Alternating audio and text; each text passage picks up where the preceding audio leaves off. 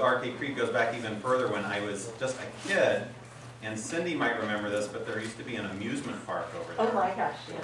And um, very little information about that amusement park. Attention students, the book study has been moved to C as in cat four. The book study is- has been moved to C four. Okay.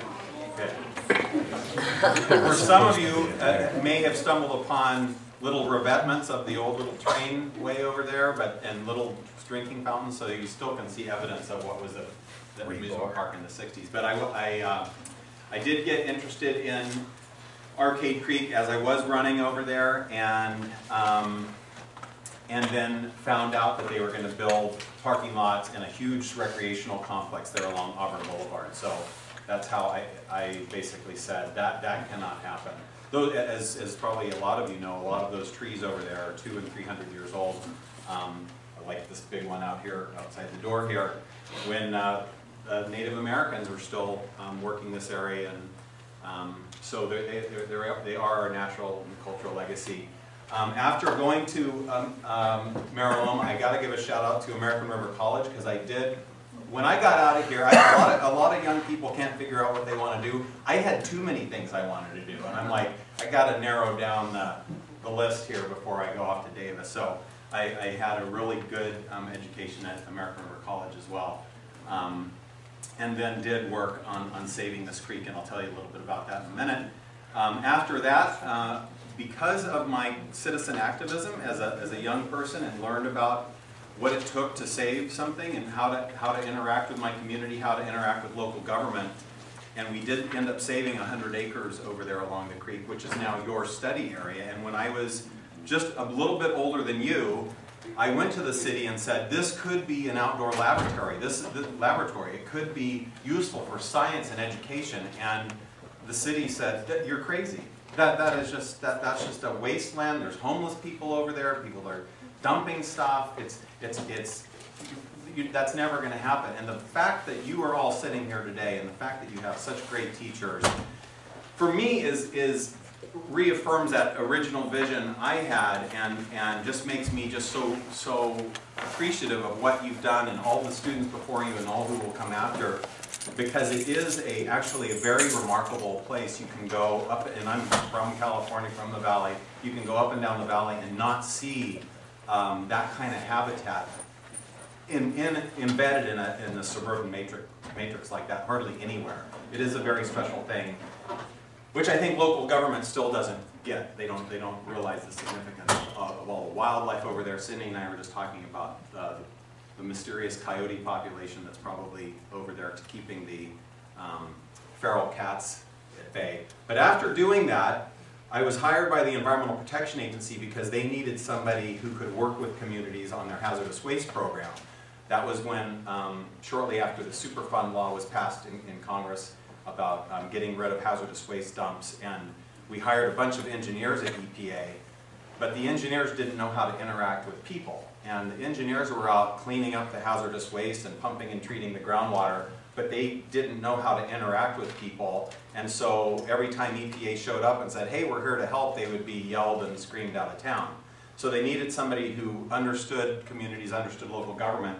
And so I was hired to help start the community involvement program at EPA, even though my heart was really in natural resources, but I thought, I gotta get in the door and then I'll move over. And sure enough, I did end up being involved in the um, water program, the Bay Delta Estuary Project, which I'm going to talk about today.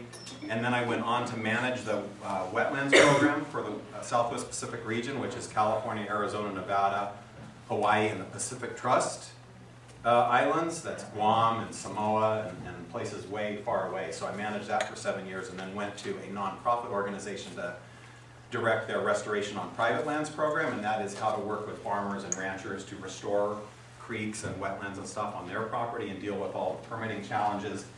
And now I'm back at EPA working on the Bay Delta again. And I'm going to explain today, in 30 minutes or less, 10,000 years of history. Are you ready? And what your role is in the 10,000 years. Can you believe it? Now, I don't have a, um, are we going to do the lights? There we go. So there we are.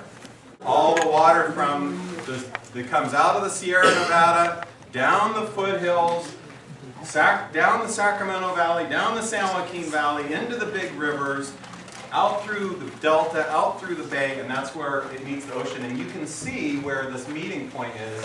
I don't know if that's delta water. Meeting Johnny, please call I'm gonna, are you, can you seven stop? four six three. Trust me, I'm, Stop it. Call seven four. I'm giving a significant part of my salary to get that thing to shut off. I'm It gonna. does this every time we're in here. Um, anyway, the, so this is the meeting point, and you can see the difference between the freshwater and the saltwater. I'm not sure which is which there. That might be, uh, the, the, the freshwater with the sediment discharging out into the ocean. Bottom line is, is that the bay and delta are connected, and you're connected with them. But let's find out why, what, what does it matter about California? And this is the, the great part of being a Californian. We are living in one of the most ecologically important places on, in, on the planet, and it's because we live in a Mediterranean climate. And what, what is the characteristics of a Mediterranean climate? Come on, ES student. What happens in the winter and what happens in the summer? in ahead. 100 points. Put that on your mark. Okay, so yes. Um, now, of course, nature and the planet doesn't know state boundaries here. So actually, the what they call the California Floristic Province goes down to the Gulf, into the into Mexico and up into southern Oregon. But this is one of the most special places on the planet for ecological diversity, both plants and, and animals. And there's only about a half dozen of these places worldwide. Chile, South Africa, around the Mediterranean, which is where we get the, the name. Um, and these places are these assemblages of, of, of plants and animals that oftentimes are found nowhere else in the world, like your big, big blue oak tree out here. This is the only place on, on the earth where blue oaks grows is right here in California. And um, they've also experienced high levels of, of degradation and fragmentation, meaning this wealth of ecological resources is also under grave threat and is disappearing and is being fragmented. So, another, so let's, let's turn back the clock to the Pleistocene. Who knows what that is? You recognize that? Do you know where that picture was taken? Well, that's drawing. The Central Valley of California, ladies and gentlemen, 10,000 years ago, the saber-toothed tiger. Who has a guess of what the state fossil is? Oh, I'll give you a hint. Smilodon. Saber-toothed tiger is the state fossil. Um, it's incredible for me to think that these creatures once wandered around California. And in fact, uh, I did some work, uh, some permitting work for the new UC Merced campus. Um, that's a whole other presentation someday. But um, when they were doing uh, research on the soils and stuff out there, they found camel bones. Um, when they were doing this, the fourth bore of the of the of the um, the tunnel down there in uh, Caldecott Tunnel down in the Bay Area, they found all these crazy animals. Um, this is in the San Francisco Bay Area. You can still see bunch grasses. We remember those. But did you know that we had bison living in California? And what about these crazy zebra-like wild horses? This is California. This is where we got started. And, and, and we lost them all. We lost them because of climate change and all that stuff. And people say, well, yeah, the climate change today is just, it, this, we've always had climate change. Yes, we've always had climate change. We've also always had extinction. The point of this is, of what we're talking about now, though, is humans and the human activities are accelerating extinction, accelerating climate change and making it worse. So we're taking natural phenomenons, phenomenons and, and making them, you know, much more pronounced. Um, of course, we are, we are not the only ones here. This is Chief Stanislao. Have you heard of Stanislaus County? well, we had 20, something like 26 tribes in California. We had a variety of um, Native American tribes. They all had distinct languages. They had uh, trading partnerships and all that. This happens to be um, one of the tribes that was in the Central Valley. So these are the people who were collecting acorns from the big trees, like we talked about. These are the these are the peoples who I thought of um, when I first thought that the, the, the no way we're going to let the city pave over Arcade Creek. Um, it's got too much importance culturally. And here's a map of uh, one of the early ethnographers mapped out all the different tribal areas that at least that person knew about. I'm sure there were little subsets. Here's, by the way, Tulare Lake, which was the largest freshwater lake in uh, the West, maybe in the, in the United States actually. Here's San Francisco Bay, and we're going to talk about the Delta. Sacramento Valley here, San Joaquin Valley here, Sierra Nevada, and then the North Coast up here. But anyway, you can see where all these, these, all these different colors in the bottom here are all the different tribes and so forth. So there's a great deal of, of cultural history. We just looked a second ago at um, the Sacramento Valley, and you can see um, the mighty river, the big river, Sacramento River, one of the biggest rivers in the world. And, and the, the snow falls up here in the Cascade Range and the Sierra Range.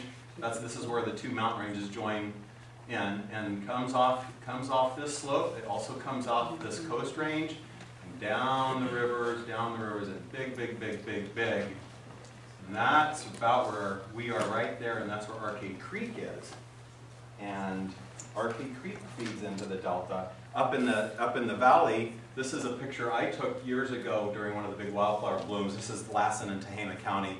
The Sacramento Valley, um, I should say the Central Valley in general was, it, it's, it's formed like a big bathtub really. You have the Coast Range, and you've got the Sierra, and that big flat part. In its natural condition, that would seasonally flood, and probably many times not even seasonally, but it would go year after year. It's just a giant bathtub, and there were, it was full of wetlands and full of wildlife. And these are sort of the higher parts where it wasn't like inundated in the low spots. This is sort of on the shoulder go- going up to the foothills of the Cascade Range, but there were vernal pool ecosystems. Do you, have you seen the vernal pools that are out along Arcade Creek? Have any of you wandered upland, up on the terraces a little bit? Have you, you saw them? Um, I can show you them. There were some artificial ones there that were created and some other natural ones that are still present. Um, but they have their own ecology and just like the other specialized plants and animals of, of the Mediterranean zone, vernal pools have plants and animals that, that occur nowhere else in the world and are very, very um, unique. And there's the big Cody river. Leeper, please Sorry. meet your mom out in the front. Cody Leeper, please And I meet just your talked to mother Rich out about in it. the front of the school Just parking lot. 30 minutes ago you. and said, there's a button they can push that only goes to the Big river outside bend. This is about getting ready to cut off, you know, that's what creates oxbows, the river cuts across here because it becomes the place of least resistance. Instead of going all the way around this big turn, it will just sometimes cut off and that's how you get oxbows. But there's the big Sacramento River. And now we're gonna bring it home a little bit. And we're gonna look at just the watersheds that are on the east side um, of the Sacramento River and the east side of the Natomas Basin. And I can't read them all here. Auburn Ravine and Merton, or whatever, Markham Ravine, Curry Creek, Pleasant Grove Creek. There's the, the Steelhead Creek. Am I in your way when I, when I stand over here? No, you can see that. Um, Steelhead Creek, it used to be called the East Natoma, or the Natomas Main Drainage Canal, which wasn't very, very visually interesting. Um, and then here is Arcade Creek, and I was just over in your Arcade Creek room, and I saw that you have this, this map kind of blown up on the wall. But whether you know it or not, and you know it today, you are working on the Bay Delta ecosystem. Because that's, that's, it goes, Arcade Creek flows into that Steelhead Creek and then is at the confluence down there at the American and Sacramento River. And so the freshwater and the species and stuff that you see up there in the creek actually go down through the delta and out to San Francisco Bay and then out into the ocean. And um, Mrs. Suchanik talked a little bit about my early activity. This was the result of five years of negotiation. So from when I was like 19 or 20 to when I was 25, 26, spent years on doing all the political negotiation. This is Auburn Boulevard here, Harry Renfree baseball field there. This was all gonna be paved. And it was gonna be, there was gonna be sports fields and pavement and all kinds of stuff. And we negotiated the settlement of this big area here as a protected area. And that's where part- that's part of the places that you're, you're studying. Um, and then over here is where the softball complex ended up going, and then this area over here is Arcade Creek, there's Longview Drive up there. Um, But, so, I guess the thing, I- I- the point is, is that if you see a natural area, it's probably not there by accident. It means like, for a natural area like this to occur in a city like this now, it means somebody probably had to work a lot to get it that way. And I did, I have worked a lot, but what we need is people to take it to the next generation. So I, every time I come and get, get the privilege of talking to your classes, I'm, I'm looking for who's gonna be the lead, the creek leaders of the future. And there's a lot that was done to save this creek, there's a lot that needs to be done. It's under threat every day. The, the, um, IB students with the Arcade Creek project have been instrumental in stopping two major developments over there. I don't know, do, do they know this political history? Well, this is also why we need to get this on, on your website. But you helped stop them, um, over on Longview Drive, and I couldn't find a, a map of it, but you stopped a big industrial development, and that now became the Longview Oaks Preserve. That's a seven acre, it was, it was, it was a seven acre piece that Michael Linebeck, please call the main office. Michael Linebeck, please call the main office. That's okay. Um, th- This was a seven acre area that the city, um, do do- do you, do you know where the the Sacramento Horsemen's Association is along Longview? And then there's that area, that open space area across the way there? That's the seven acres. And we tried to protect this back in this, during this zone. So during the, all the public meetings and stuff that went on from 1981 to 1984 or so, we fought like hell to get that piece protected. And the city wanted to sell it off and have that turn into a, ho- a, ho- uh, a hotel. Which that hotel ended up getting built on Longview and Watt. And I don't know if you've seen that hotel lately. Nothing good is going on in that hotel. Everything bad It's a red is happening there. Stuff that you shouldn't even know about at your tender age. But that, that crappy whatever hotel was gonna be where that seven acre preserve is now.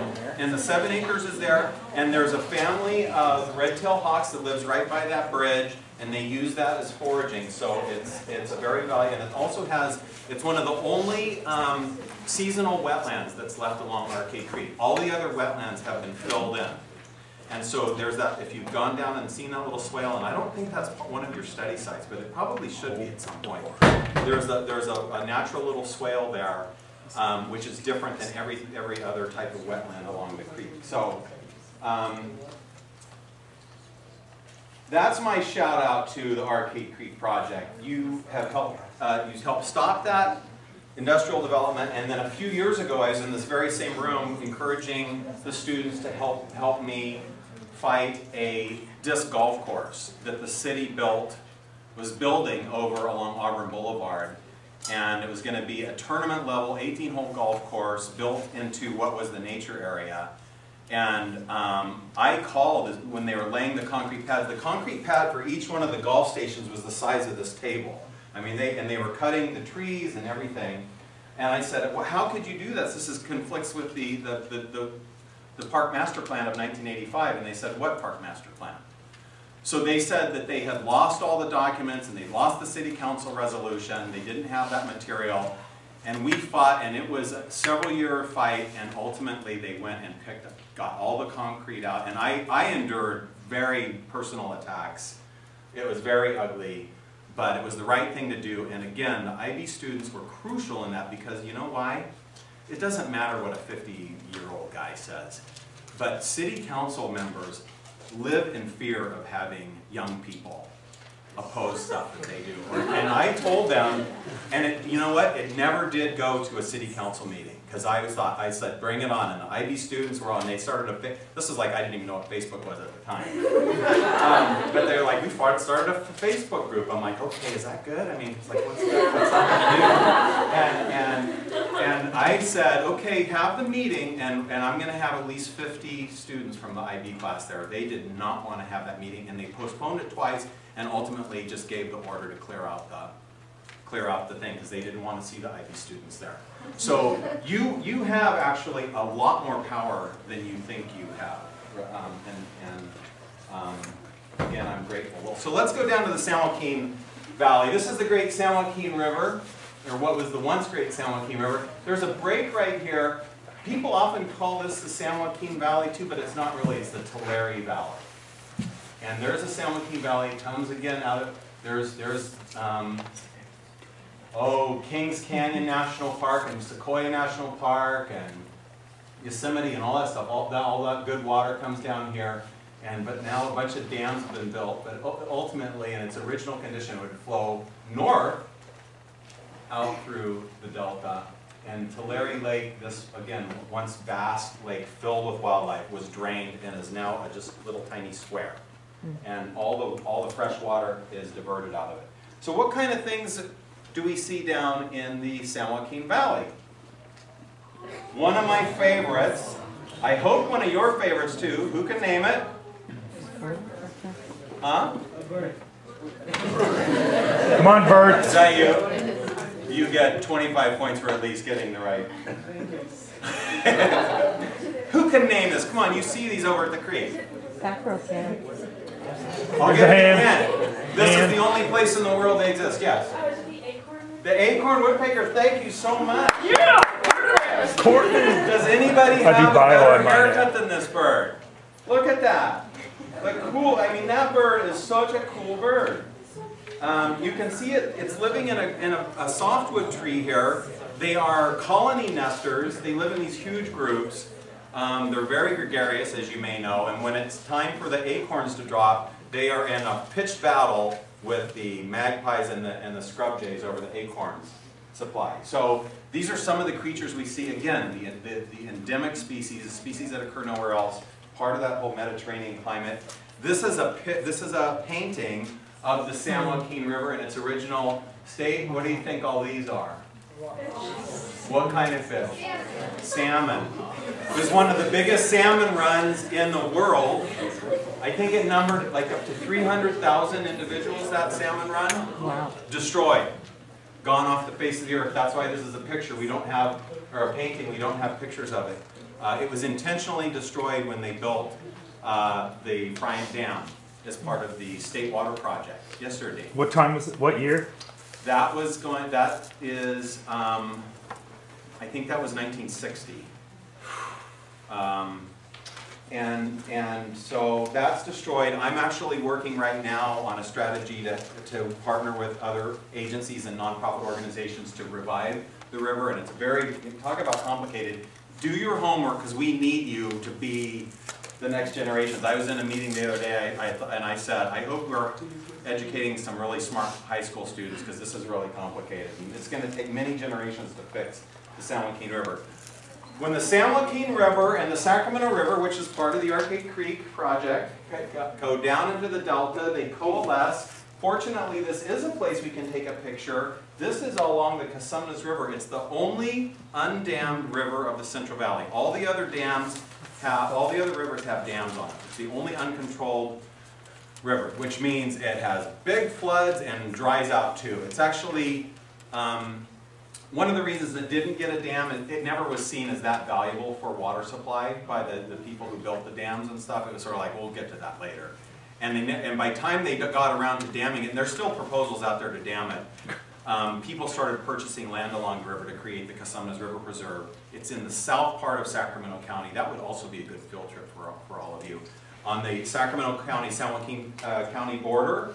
But the interesting thing is, is, and the reason I have this picture up here is, is this is what the, this is what the Central Valley looked like.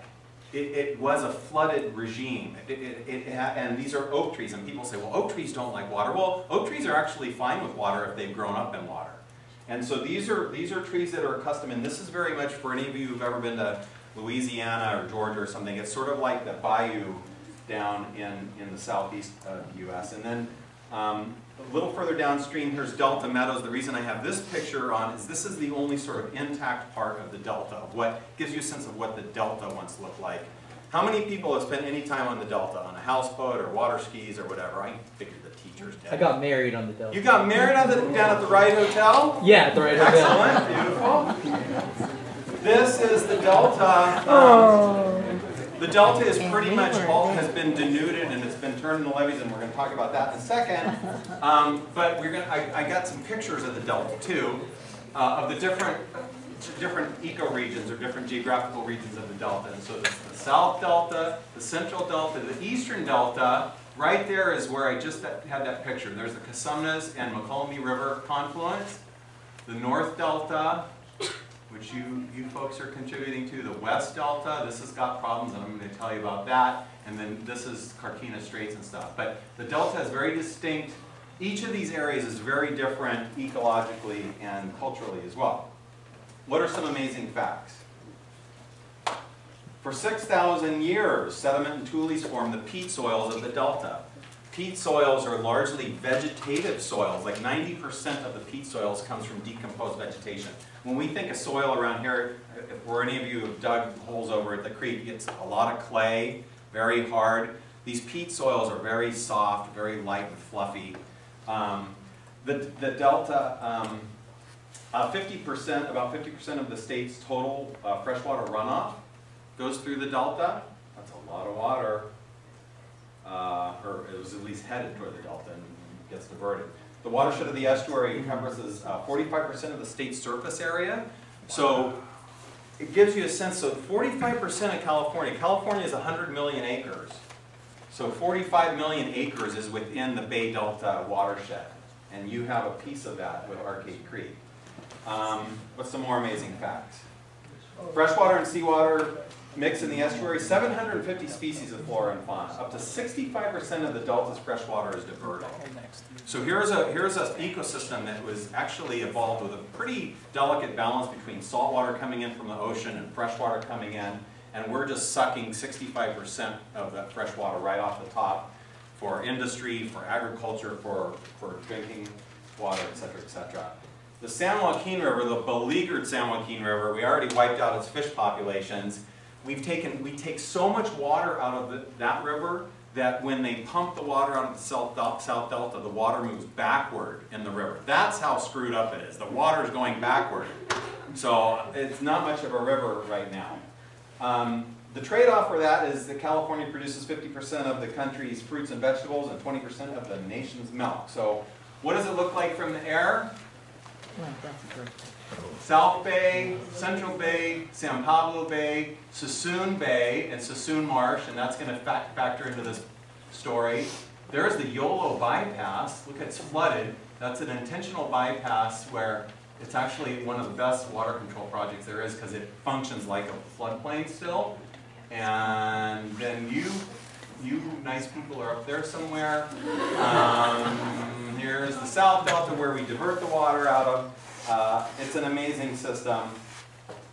Prior to European settlement, the wild rivers of California produced millions of salmon. In the early 1900s, there were 21 canneries in California processing 5 million pounds of salmon annually. Um, here is the Delta smelt. People who don't like environmentalists and don't like nature very much will always say, you're you're choking off our industry and our water supplies for some stupid fish. Well, here's the stupid fish. This is the, this is the Delta smelt. It again is unique. I, I'm told that if you smell it, it smells like a cucumber. I'm not sure why what that matters, but it is unique. It doesn't occur anywhere else in the world. Yet another endemic species. Again, the, the, the, the, the ecological significance of California. So what did we do to that bounty? We had all those, those Native American tribes who'd lived thousands of years. Everything was cool. They, they, they, they actually ground their acorns. You can see where they ground their acorns into the rocks. They lived in peace and harmony and all that stuff. They actually burned parts of California. They managed its vegetation. They managed the games. The, the Native Americans really had it figured out. Uh, the Europeans show up and they said, let's do some, let's get some money out of this thing. It's not, so what did they create? This is incredibly ingenious, actually, but these hydraulic um, hoses, they literally blasted apart the rivers. Um, this is all gravity fed. It's not like pumped or anything, but they, they, they, and, and we're still dealing with the legacy of this today, all the, the abandoned mines and all the damage. They just pulverized the rivers, they pulverized the mountains, all to get um, gold and then they, they pulverized, they, they dug mines in the uh, central coast to get mercury out to amalgamate the gold, which Cindy's husband is trying to fix that problem. They, they, they got all the wealth and, and created all the damage and then just walked away, rich and, and drunk and, and everything. So, um, uh, then later, uh, a little bit more sophisticated, we started building gigantic dams This is a Shasta Dam, one of the biggest dams in the world. Um, from an engineering perspective, beautiful, right? But again, it was built without the fish in mind and pretty much brought to extinction the winter run salmon. So uh, yet another species of salmon um, brought to virtually to extinction.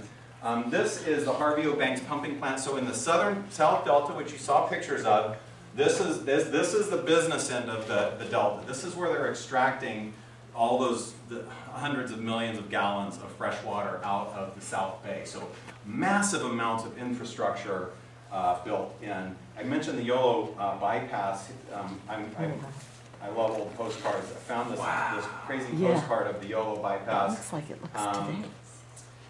Except that probably all going up to freeway. a Sunday picnic or something, so quaint and everything. It is, it, it, it was built, um, you know, just as a bypass. What the, the scientists from UC Davis are finding though, that the, the bypass is one of the best ecological flood control channels anywhere because it behaves like a floodplain. And so, um, when the water starts getting high on the Sacramento River, before it floods here, it is shunted out into the bypass, and you probably have all gone across the bypass and it just looks like a huge inland sea. Um, the native, the native fish go out and they're foraging out there and they're eating and they're getting nutrition. And because they are native to the system, they know when the water starts going back in the river, hey, hey guys, let's get back in the river. And the, the non-native fish that are out there thinking, wow, this is great, look at all this food. They, and they're not cued into these cycles. A lot of them die. They're not, they, they, they die and the, the, the native fish get back into the, the river and they prosper. So here is the plumbing system for the great state of California. Um, I have worked on this ecosystem for my, basically my whole career. I still can't figure all this stuff out. It just the, the, the, water going north, south, east, and west, uphill, downhill. Uh, it, it's just crazy. Um, again, the engineering marvels. Um, the result of that is we, we, the, the, the, the rivers have lost their ability to produce fish. Well, when you think about it, I mean, that, that came naturally. That's an ecosystem service. That's what, if we would have just left nature alone, we would have had all this great food. But we, we made the trade-off, no, we want the water for other things. And so now the fish are in hatcheries. Well, you probably have all studied hatchery stuff and how that messes up the genetics of the fish. And in some cases, because the, the rivers are blocked, they have to like raise the fish and put the fish in trucks and then move, take them, go to get to one part of the river and then they got to get them back out and like put them back in the truck and move them to another part of the river. It's just like eh, the fishes, or some fish populations actually migrate in trucks rather than migrating in the water. So it's, it's crazy. What did we get for all that? Well, we got the land of fruits and nuts. Raisins and citrus and almonds and walnuts, all good stuff. I also, I, I, this has no relevance at all. I just like this fruit label. Um, uh, they- they- There, there's a whole cultural thing behind the fruit industry and all these different packing labels and stuff. And, uh, but because the people who were farming weren't necessarily tuned into organic food and all that stuff, remember that beautiful valley and stuff? Well, we turned it into basically industrial agriculture. This is like, you, there's not, there's no vegetation apparent in this. This is down in the southern San Joaquin Valley. Um, not only, it wasn't good enough just to extract, to, to, to mine the soil for food, we also, let's drill some oil out there too. Let's get some of that going on. So we're drilling it for oil and all that. Does it, do you think anybody who's involved with this picture is thinking about nature or that little acorn woodpecker? I don't think they care, which is too bad. Um, because of this sort of industrial mining of the soil for agriculture, um, the people who work the land, the migrants from Mexico, not very well treated, that brought then another cultural response. Cesar Chavez, you can see, I love this, one of my favorite pictures. His shirt here is made of protest signs. Hmm. And there's the United Farm Workers emblem here, and you see the skulls of all the, the, the Mexican laborers who were poisoned by the industrial agriculture. That was, we, you know, when we were growing up, Cesar Chavez was on the news every night. The newest wave is the, the Hmong farmers down in the, the San Joaquin Valley, uh, in the Fresno area, and they are now taking up uh, the cause of workers' rights and, and agriculture. In the, in the central, uh, in the Delta, there was a large Chinese um, population that was brought in to to work on the railroads to build the levees, because um, the, the engineers didn't like the delta, very inconvenient, all this flood water and all these wetlands and stuff, we gotta, so, but it's too much of a hassle to work on it, so let's get some, let's get some labor in here. So they brought over um, loads of Chinese people. This is down in Locke. Has anyone here been to Locke down, you've been down to Locke? Um, it's a, it's a Chinese community that is still there. Um, another old picture of Locke, the Delta Club. So when they did scratch together enough money, they could at least go have, you know, have a drink or something or go to a dance. I talked about the peat soils earlier, and here's what happened to the peat soils. All this, the soil here is all this vegetation mass. 90% of the peat soil is, veg, is, is decomposed vegetation. So they brought in the Chinese to build the levees so that the European settlers and so forth could farm. Um, but the peat soils are extremely fragile. They also, and so they started blowing away. And then when they, when they made their crop, when they grew their crops, they would burn, actually, the crop residue. Well, peat is, because it's mostly vegetation, also burns. So they used to burn the peat. And because they were um, doing water withdrawals and so forth, the, the peat started sinking. And so now what we have is, this is what the delta looks like today, is you have, and like on top of these levees, this is where the roads are.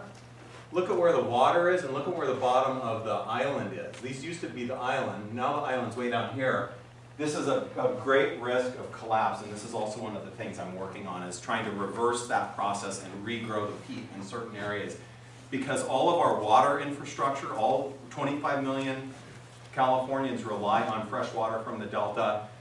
This could all be lost in a matter of seconds. If there's a big earthquake and those levees start falling, it's going to be like dominoes because they're going to fall and then the water's going to rush in, it's going to rush to the next levee, that domino is going to fall, and all that seawater is going to go intrude into the delta and our, our drinking water is going to be ruined.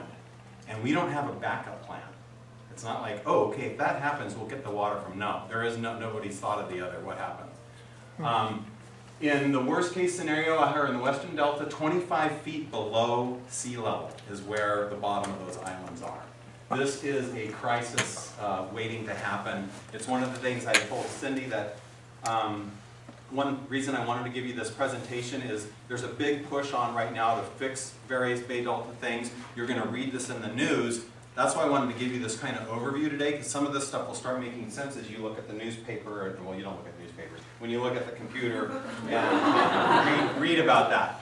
Um, this is what a Delta levee failure looks like. This is 2004 at Jones Tract. The interesting thing for me on this is like nothing was going on. It wasn't like, oh my God, the storm is so bad and the levees are gonna. No, it's just like we woke up one day and it's like, whoa, the levee's gone. I mean, it wasn't like a catastrophic event. So you can imagine, remember, Central Valley is a bathtub. It wants to be an inland sea. It is naturally flood prone. You get a big storm, it's going to blow the levees out, or you get that earthquake I was just talking about. Well, what else have we done around to, to benefit the Bay Delta? Oh, God, I guess we built a bunch of homes.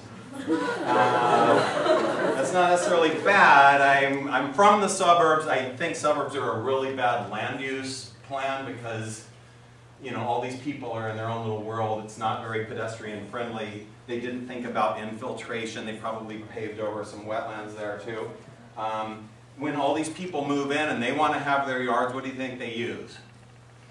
They got, oh, what are these bugs? Let's get some, hey, let's go to the problem solver and spray the, the pesticides. So all this stuff ends up in the Bay Delta too. All the pesticides from Monsanto and Ortho and all these companies, they, they solve the problem of whatever bugs on your plant, but they cause problems because it goes into the creeks and then kills stuff. And you probably, I don't know if you take measures of, of pollutants, but that, you probably find the petrochemicals. Um, we also have invasive species moving into the, the Bay Delta. It's one of the most invaded estuaries in the world. This is the overbite clam. You can see this is a small clam, but when you, when you take about you know, hundreds of millions of these things, they are actually changing the food budget for the whole Bay Delta. They are, they are eating so much food that the native fish don't have enough food to live on. Um, and then you have other people who decided that the, the northern pike, boy, wouldn't that be nice to have that in the Bay Delta? Well, this is, this is from a different place in the world altogether. It's one of the most voracious predators. So even in these, these efforts where we're trying to bring the salmon back, we're bringing the little salmon back. Well, this thing is a salmon munching machine. Um, it's up in Lake Davis. We've been trying to kill it for like at least 15, 20 years. Um, and the big fear is it's going to get loose in the great ecosystem. So the bottom line here is, is um, and I'm almost done here because I'm 34 minutes in, uh, all the main fish populations have crashed. The threadfin shad, shad striped bass, delta smelt, longbill smelt, smelt is all the trends are going down, down, down, down, down. So we, um, and this is where I'm, I'm going to finish because this is the latest thing I'm working on is how do we reverse some of these declines? And this is at the early part of my talk. I said, look at that one place of the where Suisun Marsh and Suisun Bay is, and, and this is one of the ideas is that um, because of all that development in the delta, where we wiped out the wetlands and turned them into those agricultural fields. This is the last place sort of in that area, in that region of the Bay Delta ecosystem, where there's still sort of shallow native habitat intermixed with natural wetlands. Uh, these have invasive species problems and stuff too, but they're basically functioning well. And, and the, the goal here is, is that for these resident fishes, the smaller fishes, like the delta smelt, which I showed you the picture of, which is endangered, and some of the other, the Sacramento split tail and things like that, we want to move them down into this area so they have a more hospitable environment. Because up in the delta, where they put all those levees, the fish are just in these, they're, they're basically squeezed in these trapezoidal channels, no vegetation, no cover, very little food, hot temperatures, all that stuff. We need them to be more luxurious down here in the cool water where they can hide and there's more fish and food and stuff like that. The fish populations, and this is what you got to remember, is they basically like a two parts per thousand salinity zone. Any fresher, and then it's sort of a freshwater fish thing. That's for the that's for the, the, the trout, the lake trout, and things like that. An estuarine species is used to this mix of saltwater, freshwater, the brackish water. Um, but if it's too salty, then it's too much like the ocean, and they don't like that either. They, they, they die. So the, the trick is, is how do we get them down into Suisun Bay? Well, look at this picture here. Here's six parts per thousand. Oh my God, it's way up here in the delta. Remember, here's the Yolo bypass. You guys, there's Arcade Creek right up here by the sad fish. Um, and the best, the two, the best salinity, look, it's stuck in these deep delta channels. Well, this is like a very hostile place for a little fish to be down in those channels. So what we're trying to do is work on a, we're, we're about ready to launch a big scientific endeavor on how can we manage the estuary different to push that two parts per thousand salinity downstream so that the fish end up here. And that's going to take a lot of water, and that's why it's politically very difficult to do. Um, but here's what happens, is that you move you move the two parts per thousand down into your desirable zone. And if the fish, if we can manage the fish here while we go into the delta and actually create wetlands in the delta, and that's what we need. The reason we got to put the fish down here is because it's the only place the wetlands and the shallow beneficial habitat is. If we can turn the tide here and do restoration of this western delta and get those two reintroduced water and wetlands to start building the peat soils back up, then we can manage, we'll have more flexibility, we can manage the system so that there's also the fish up in here. But for now, for probably the next 10 or 20 years, we're going to need to try to get the fish down there. That's the political difficulty, because can you imagine how much fresh water it takes to push the salinity downstream? And just remember, here's where we're going. We're going from there to there. That is a lot of water. That's going to take, and that's going to have to, either going to have to come out of agriculture or municipal water supplies or maybe both. And, but, but don't worry, these are only, this is all who we have to coordinate with. Ah, that is a lot of organizations. Everybody's got a different opinion.